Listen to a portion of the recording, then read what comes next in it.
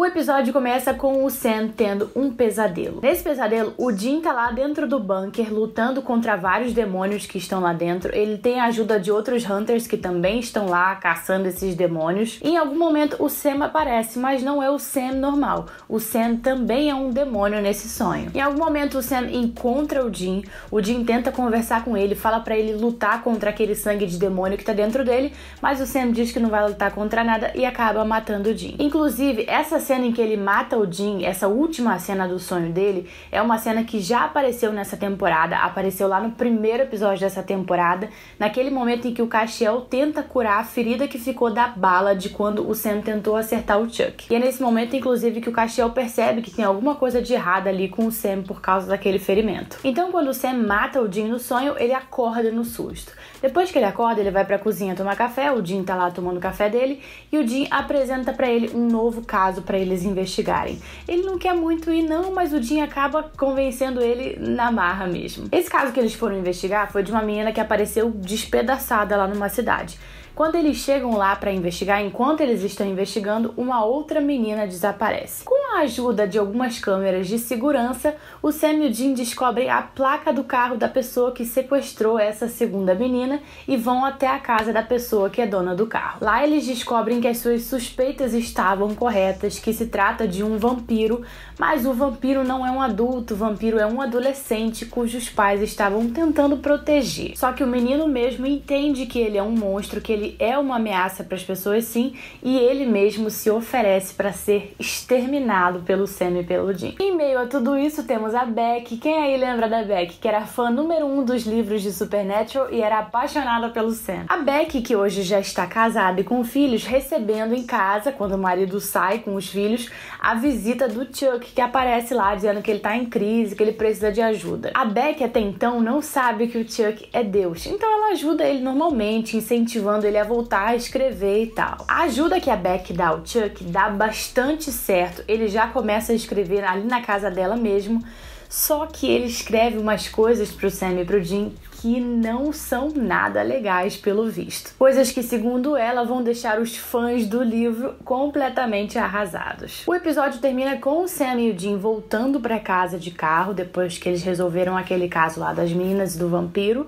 Eles conversando sobre. O Jim, na verdade, é quem fala sobre como agora eles estão livres, porque o Chuck não tá mais lá, não tá mais interferindo na vida deles, ingênuos, né? Só que o Sam não tá muito legal, mesmo pensando que o Chuck que não interfere mais na vida deles. Ao que tudo indica, o Chuck está preparando uma bomba para os meninos, hein? Isso responde a pergunta que eu mesma fiz no meu vídeo passado do último episódio, quando eu perguntei se o Chuck não ia se ligar que os meninos conseguiram resolver o problemão que ele botou nas costas deles, que foi o buraco aberto com as almas saindo do inferno, todos bilhões de almas, se ele não ia perceber que os meninos conseguiram resolver isso e mandar outro problema para eles. E eis a resposta nesse nesse episódio, né? Sim, ele vai mandar outro problema para os meninos. Ele não simplesmente jogou um último apocalipse e foi embora como os meninos achavam que ele tinha feito, não. O bagulho parece que vai ser tenso. E ele lá com a Beck, a Beck lendo a primeira coisa que ele escreveu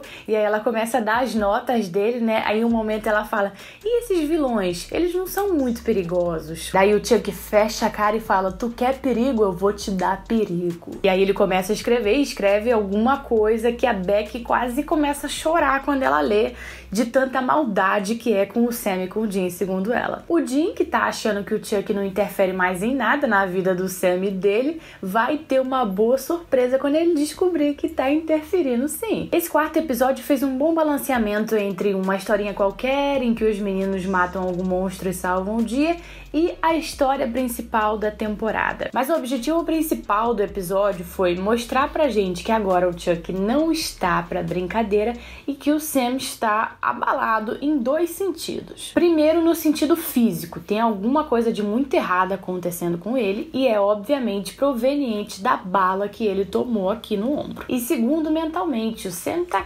claramente, isso já é há muito tempo, na verdade, né? claramente de saco cheio de toda aquela vida dele, de saco cheio de perder sempre pessoas que ele ama. E ele deixa muito claro pro Dinho quanto ele tá de saco cheio lá no fim do episódio. E esse sonho que ele tá tendo, parece que ele tá tendo esse sonho de forma recorrente tá indicando isso pra gente.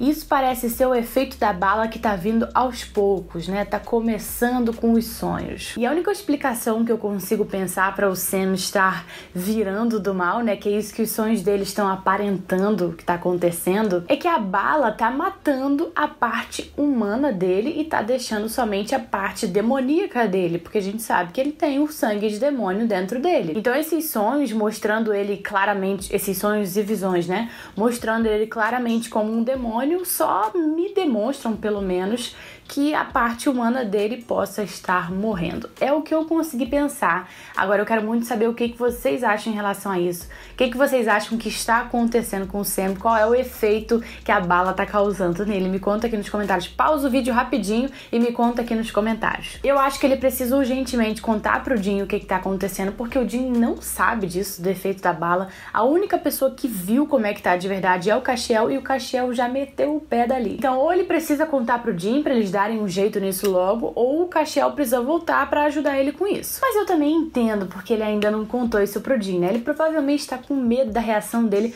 porque vamos combinar, o Jim é um cara meio extremista, né? Se ele achar que o problema é algo relacionado ao Chuck, vai querer ir atrás do Chuck para resolver isso, eles vão acabar se metendo numa fria ainda maior. Novamente, não vimos com clareza os efeitos da bala no Chuck, até porque o fim desse episódio deu muito a entender que ele tá super bem. Ele lá escrevendo tranquilão, parecendo que tudo que ele estava escrevendo ia de fato acontecer. Pô, se for assim é porque ele está com os poderes funcionando direitinho, né? Pela promo do quinto episódio, que já, já dei uma olhadinha antes de começar a gravar, ele parece que vai ser no mesmo estilo desse quarto episódio. Vai ter uma historinha que os meninos vão precisar se livrar de algum monstro e provavelmente vai mostrar o Chuck ou alguma das outras coisas que ficaram em aberto na temporada, como por exemplo a Billy e Jack lá no vazio, que eu tô doida pra ver isso, inclusive, que eles ainda não passaram isso. E faça um Castiel voltar logo, porque ele só tá fora um episódio, mas eu já tô com saudade. Me conta aqui embaixo o que, que você acha que vem por aí e não se esquece de passar aqui no canal todo sábado,